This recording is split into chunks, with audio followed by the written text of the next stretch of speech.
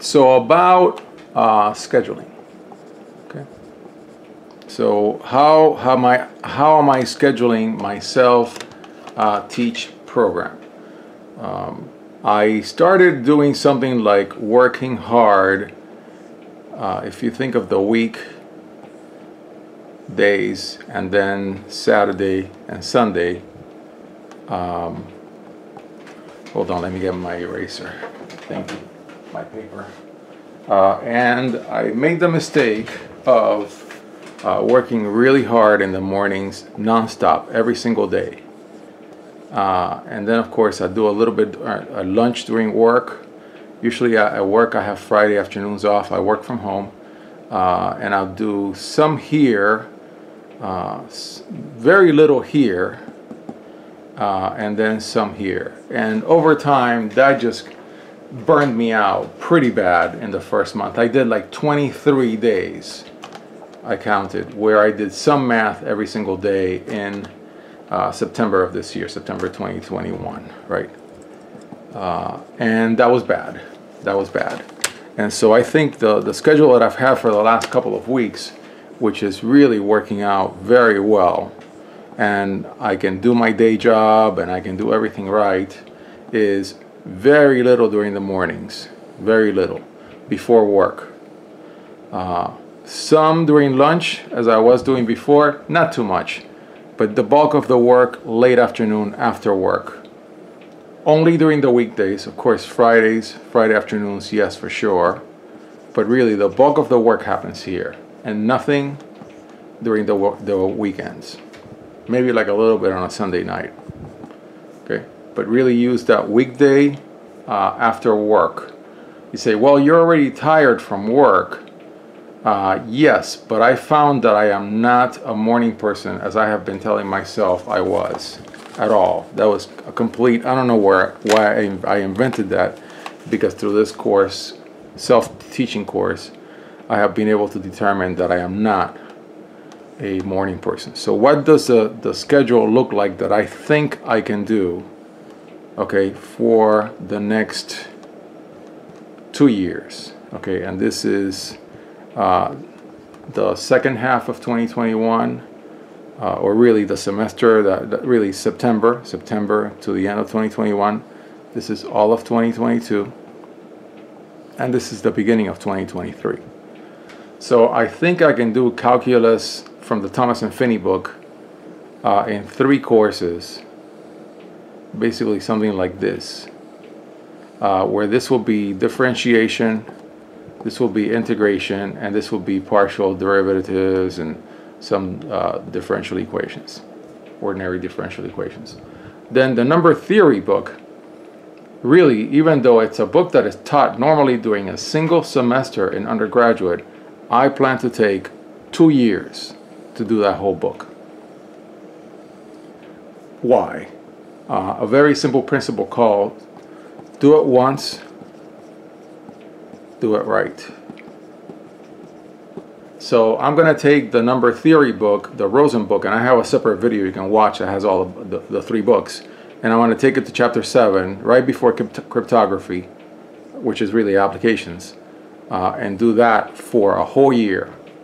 Uh, I know, for example, chapter 3, which is on primes, I'll probably take a month and a half to two months just on that chapter, okay? Because I think primes is key to number theory. It's kind of like the heart of it, in my opinion.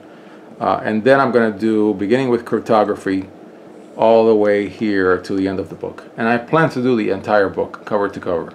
And I plan to work out most of the problems in the book, even if I don't get them right. Uh, and so, and then of course the proofs book, I uh, have a second book that I haven't shown that is much harder. It's used at Urbana-Champaign. And I'm going to take that book here. Okay? And so I'm going to have a proofs 1, 2, and 3 over the course of two years. So this right here is sort, sort of like the end of February of 2022. And so that's my current plan. Uh, yeah, so three calculus courses, two uh, number theory courses, three proofs courses, the calculus book, all on Thomas and Finney, the uh, number theory book, single book, Rosen, uh, for number theory, what would normally normally be a semester, I'm going to stretch it out to two years. And then the proofs, I'm going to do a baby proofs course, which is what I'm teaching myself now.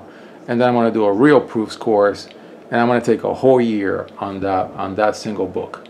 Okay. Later, later after this, I would like to do the, the you know the rest of the curriculum. Of course, when you look further down the line, okay, when you're looking at your own curriculum, and again, one of the issues about teaching yourself is that you're your own teacher. It's very difficult, and so everything takes way longer than it should.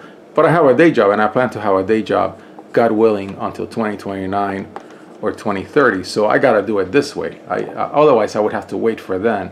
And I don't like to wait because you never know with your health as you get older and all that stuff. So really, what you're talking about is geometry, and this is broad. You know, this includes uh, Riemann's uh, non-Euclidean uh, geometry, so it includes everything, topology, all that.